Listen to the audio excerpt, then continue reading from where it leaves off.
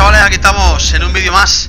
Este vídeo es diferente, vamos a intentar predecir o lo que, los jugadores que creemos que va a haber este jueves 7 de enero. Vamos a ver lo, que creemos que puede haber. Estoy en, en el mapa, con el enseñado del campo. Los dejo puestos ya para no alargarme mucho en el vídeo. Eh, quiero que lo veáis directamente así vosotros mientras voy hablando vamos viendo los jugadores. Ahí lo tenéis puesto para que os deis cuenta. Eh, primero es el portero, es Siriyu, Liga Italiana. Partido de Torino contra la Roma. Un 8,8 le dieron de media. Eh, se hizo 8 paradas que fueron realmente importantes para su equipo. La verdad es que contribuyó mucho a la victoria de su equipo. Un partido difícil para el Torino, así que creo que estará en el, en el Player of the Week. Sí, juego destacado. Aparte es bola oro, pasaría bola negra. Así que creo que le pondré en 86. Por ahí andará. 87 creo yo. De ahí nos vamos a Cardoso. Eh, de media le pusieron un 8,4. Para que lo veáis bien. Metió un gol. Y es que encima lo eso de. De este jugador es que creo que jugó de lateral, creo, si no recuerdo mal. Eh, creo que sí. Si no. Cardoso. Sí, es bola. Es bola plata. Y sería a bola oro. Y jugó de lateral. Si no recuerdo mal. No, perdón, me estoy jugando con Acuña. Vale, vale. Le dio un 8 con 4, marcó un gol, 25 años y juega como central y lateral. Así que es buen jugador, eh, juega en varios sitios y sí, es por la plata, que es una promesa, y pasaría oro, ¿vale? Eh, de ahí nos vamos al Abraham, espectacular, uno para mí de los mejores centrales del juego, con Van Dijk, Koulibaly, creo también Sergio Ramos, Pavar, que soy un poco de él, pero Pavar lo tengo yo y es una bestia, es buenísimo también. Para mí creo que son de los mejores del juego. Así que Barán eh, marcó dos goles, el partido de Real Madrid contra el Getafe, un partido difícil para Madrid. Pero Barán marcó dos goles, uno de ellos eh, se lo dio a Barán, pero eh, dio en el defensa, lo que pasa es que Barán estuvo en el remate y estorbó a ese defensa para que fuese gol, si hubiese estado ahí no hubiese sido gol. Entonces se lo dan a él como mejor jugador y bueno, fue el clave para la historia de su equipo. Venimos más abajo, Diacabí, promesa de Valencia, buen partido que hizo, es bola plata. Creo que pasaría negra, de las más bajas de negras, pero creo que pasaría negra, porque es un joven promesa o una oro, pero muchetada. Eh, la negra creo que la pondría en 85, que es los más bajos negras, y si la ponen en oro sería la más alta, en 84. Claro, en 84 la más alta de oro, pero lo que haría es que le pondría mucho nivel porque es una joven promesa. Entonces creo que la pondría en oro oro alta, es decir, 84, casi el límite de las negras. Es decir, subirá una barbaridad, eso sí es verdad. De ahí pasamos al medio centro, nos vamos a Uros Rafik. Eh, es bola bronce, para que lo veáis que es bola bronce. 1.91, es un tronchaco que flipáis. Marcó un gol para su equipo medio centro defensivo, pero su juego obviamente es media punta. No, al revés, es eh, sí, perdón, es medio, centro defensivo y de jugó de media punta y medio centro. Jugó bastante bien para su equipo, es bola bronce, marcó un gol, un 9 con 4 de media y jugó, jugó la Liga Portuguesa en el, creo que es el Famalicao lo que es que juega, que ganó 3-0, ¿vale? Así que vamos a ver qué tal sale. Si es bronce, yo creo que sí, un buen salto de oro estaría bastante bien. La pondría en 84, 83, 82, le pondría yo creo de. Y que suba mucho porque es joven, creo que tiene 21 años. Y iría bastante bien, sería una promesa. Vale, chavales. De ahí nos vamos a Acuña. Eh, este juega de interior izquierda, pero jugó de lateral en su partido y tiene un 8,4 de media y marcó un gol. Y eso que ese equipo perdió, ¿eh? Pero jugó, él jugó muy bien, jugó bastante bien. Yo, sinceramente, si juego de lateral y poner a este, pues, este no, es bola negra, yo, yo pondría a, Mendy, que está ahí lo de posibles. Pondría a Mendy, en vez de pondría a Acuña, pero veremos a ver qué pasa, ¿vale, chavales? A ver qué sucede. Tenemos la Liga Española, eh, nos vamos con Fekir, 7,7, que le dieron de media, una asistencia de media punta. Ya sabéis que en el Betis la Liga es muy bueno ahí, eh, juego determinante, le viene genial la Liga Española. Yo pienso que para mí no debe estar Fekir, debe estar eh, Ricardo Horta, que está el penúltimo en Podrían Serlo, ya os contaré por qué. Hizo un partidazo Ricardo Horta, pero Ricardo Horta es extremo y este Fekir media punta. Entonces, a ver qué pasa, ¿vale, chavales?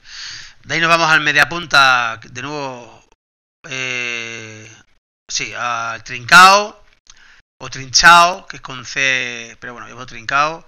Eh, segundo de segundo punta, fue el MVP del partido, la gran goleada que hubo de 7-1. Eh, le dieron un 9,2 de nota, que lo veáis, y marcó un gol. Aunque hay jugadores como Unal que metió más goles, el turco, pero fue determinante, fue el MVP del partido. Fue el MVP del partido, le dieron, fue el mejor del partido porque jugó muy bien, solamente metió un gol, ¿vale? Fue espectacular. De ahí nos vamos a Liga Italiana, a Velotti. Para mí, yo tengo en el, el PES, es un pedazo de delantero. Yo lo tengo cuando salió al principio del todo, no sé si os acordáis que se lo todo al principio del todo. No he, vuelto, no he vuelto a volver a salir. De verdad es un, tiene un rendimiento, si sabes usarlo para lo que vale, que es para meter goles y estar en el área. No quieres coger un balón de se toma por culo, irte con el regateando, porque no vas a conseguirlo. Pero por fuerza en una banda o, te giras, corres y le pegas a gol, te viene perfecto. Pase raso tiene muy poco, pero pase normal te viene perfecto. En el área, a cara gol, es letal, letal, letal. Bueno, yo en el partido contra Dani Anakin que le gané, me vino genial este hombre, porque fue que me metió el 3-1 y hizo un partidazo, ¿vale? Eh, espectacular. Metió dos goles, partido de Torino contra Roma, con Siriyu, le dieron un 9 con 1, así tremendo, y creo que este jugador merece la pena tenerlo, es muy bueno. Nos vamos a con, con Immobile, un clásico de italiana, ya conocéis mucho, buen jugador, metido goles en, ese, en su partido, le dieron de media 8,6, Jugó bastante bien, así que veremos a ver. un jugador parecido a Velotti. Creo que es más rápido que Velotti. Mide un 86, sí, es un poquito más alto que Velotti, más grandote. Velotti es un 82, creo. Un 83, no estoy seguro, por ahí andará. Pero son un tipo parecidos, ¿vale? Son arriba son letales, tienen mucho gol y, hay que tenerlos en cuenta, ¿vale? A Majonal, el turco, eh, un 8,8, dos goles que marcó. Eh, jugó bastante bien. Mm, la verdad es que es un jugador eh, que tiene. Es rápido. Me gusta, me gusta el Lunal. No está mal, mercó dos goles. Eh, es plata, lo malo que tiene que es bola plata. Sí, es bola plata. Y... Subiría. Juega en Valladolid. Subiría. Subiría a oro, creo yo, que lo pondrían. Así vamos a ver qué sucede y qué pasa. Pero juega bastante bien, ha marcado dos goles y juega muy bien. Eh, aquí tenemos los jugadores que tenemos en Podrían Serlo los jugadores que creemos, que creo yo, bueno, que se cree que más o menos puede ser lo que yo he visto eh, que han jugado bastante bien. el portero de la Liga Portuguesa eh, del Benfica contra el Guimaraes, eh, el Blacho Dimo, 1,91, 25 años, es griego, le dieron de media un 8,2, pero creo que para mí se merece mejor Masiriyu, porque fue más determinante. Aparte, creo que la liga es más, más potente que la portuguesa, creo yo, no sé, veremos a ver, espero no, me, no equivocarme. Así que Felipe, defensa del Atlético de Madrid, buen partido del, del, central, eh, gol en el tiempo de descuento. He pensado en poner a Felipe en vez de poner a Diacabí, porque metió el gol en el tiempo de descuento. Y eso hace mucho para su equipo, fue gol de la victoria y eso entonces no lo he puesto, lo he puesto, he puesto Diacabí porque lo veo que es más, es más promesa, es más joven y por eso lo he puesto. Pero puede que pongan a Felipe en vez de poner a Diacabí, ¿vale? Que lo sepáis por ese gol. O Black, por ejemplo, ahí está que lo tenemos debajo. O Black paró muchísimo ese partido, tuvo que son dos o tres paradas que fueron muy claves para, para la historia del Atlético de Madrid y eso hace bastante, ¿vale? No creo que lo pongan por Siriyu porque Siriyu fue mucho más determinante, jugó bastante mejor. Pero bueno, lo que lo veis ahí, que está yo Black. Por ejemplo, debajo tenemos a Courtois también, eh, eh, del Madrid. Tuvo tres paradas, creo que tuvo cuatro paradas, cuanto mejor estaba el Getafe, que hizo que el Madrid pudiese ganar el partido. Si llegan tantos goles, el Madrid pierde porque fue en el momento cuando mejor estaba el, Getafe y más estaba apretando al Madrid. Y la verdad es que parece que está volviendo a la senda, lleva tres partidos y cero, cero goles. Eh, quiero recordar Atlético de Barcelona, este Getafe otro partido se cuál ha sido.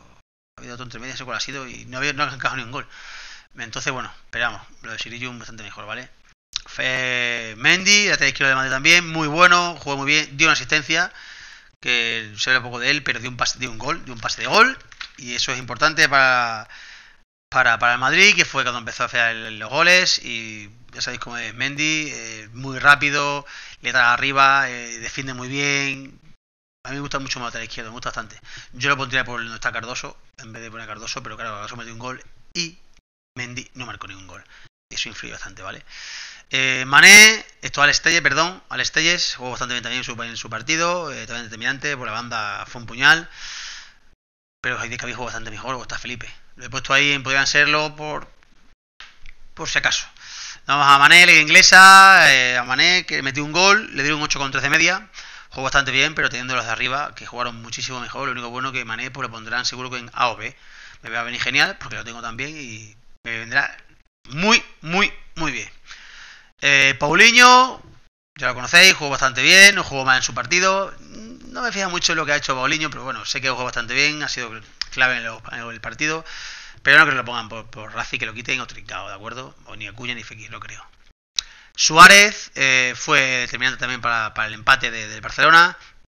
Barcelona español, el derby español, eh, o catalán, como que llamarlo, me da igual, el mismo sitio. Así me da lo mismo. Eh, marcó un gol y dio una asistencia de gol. Jugó muy bien. Si lo hubiesen chetado, creo que suele haber salido una o dos veces, o una vez creo solamente, chetada. Pero si se ha chetada, debería ser bestial porque tiene una fuerza, tío. Y a gol sabéis que a gol es bestial. Es un peleón brutal. Y de ahí nos vamos a, para mí creo que es la primera polémica porque Ricardo Horta, el portugués del Belenense, versus Braga en la goleada de 7-1. Eh, yo creo que este tío debería de, estar ahí por, creo yo, por Fekir, creo yo. Creo yo, o por Unales de Valladolid. Porque es el que yo me equivoco antes con la goleada de... Creo que debería poner a Ricardo Horta en vez de Unal. Me le dieron un 9, metió dos goles y dio una asistencia. Extremo, muy rápido. Creo que debe estar ahí. Ricardo Horta en vez de Unal. Pero, no sé, más o menos Unal le dio un 8,8. Y dos goles, no sé. Yo pondría Ricardo Horta. Bueno, vemos allá ya a Arturo Vidal, que si estuviese, supongo que le pondrían en la manga, en la manga porque la verdad es que eh, salió del banquillo cuando tuvo la expulsión de John, marcó un gol ayudó al equipo para poder empatar. La verdad es que está jugando muy bien. Está siendo clave para su equipo, ayudando bastante al Barça. Eh, no parece que, sea un equipo, un jugador que destaque mucho de Barcelona y al final está siendo muy, muy determinante, ayudando mucho a Barcelona. ¿eh? Así que, que deciros que estos son los que creo yo que serán los que más o menos estarán ahí, por lo que estado viendo y lo que está leyendo por ahí. Y más o menos serán estos jugadores. Eh, ya sabéis, en los que tengáis a De Jong, como tengo yo, en este jueves saldrá en D, porque tiene una expulsión, está en roja, así que De Jong estará en D. No va a poner ni en C. Estará en D seguro. Por esa expulsión, ¿vale? Me quedaré seguro por alguno más por ahí. Me quedo al griego de Lea que de Atenas, que es delantero centro, que es eh, Libaja, que metió dos goles. Me quedo a Didi, que le dio 8,7. A Vidal le dio un 7,7 y metió un gol, que lo he dicho antes. Eh, también me quedo al extremo derecha Pepe, que un 8,8 y metió un gol. Pero claro, Pepe ha salido este lunes. No que lo ponga otra vez este jueves. Ya este lunes salió bestial que me tocó a mí. Es impresionante. Así no lo pongan, ¿vale? Así que bueno, más o menos estos son los jugadores que creo yo que más o menos va a haber este jueves. Espero que lo hayáis disfrutado, que os haya interesado, más o menos que os hagáis idea de lo que va a haber. Así que chavales, espero que hayáis disfrutado del vídeo. Un saludo, suscribiros, darle a like y nos vemos en el siguiente vídeo chavales. Hasta luego, chao.